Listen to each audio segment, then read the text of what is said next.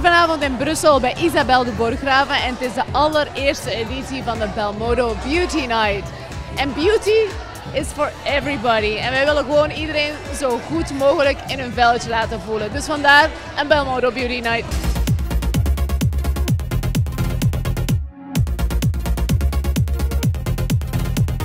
Vanavond valt er ontzettend veel te beleven. Dus uh, Parfum die zorgen voor een fantastische manicure, maar die kunnen je ook helemaal uh, beautifyen door een toffe make-up. Dan is er Philips en die presenteren een aantal toffe producten die het leven gewoon eenvoudiger maken. Uh, waaronder mijn favoriet, een krultang die je haar echt picobello laat. Uiteraard Signaal, die zorgen voor een mooie lach vanavond. Er zijn mensen bezig met microblading, er zijn mensen bezig met eyebrows, want als je brows maar goed zitten, dan is alles perfect. En uiteraard Clarins.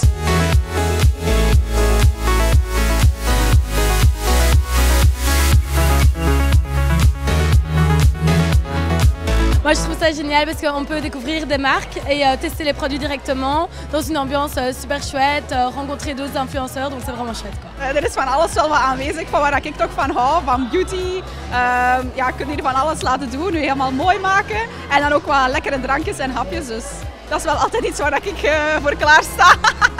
Ik vind het kei leuk. Leuk concept. Tof om al die merken te leren kennen. Het is echt zo'n echte girls night. Een kleine bijeenkomst waar we alle tips en tricks van komend jaar kunnen spotten en leren kennen. Ik heb al super toffe positieve reacties gekregen. Mensen leren ook heel veel bij.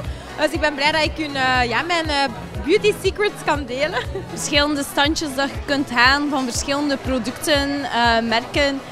Altijd iets nieuws, iets voor de handen, iets voor het gelaat, iets voor de nagels, iets voor het haar. Um, ja, ik vond het eigenlijk echt goed.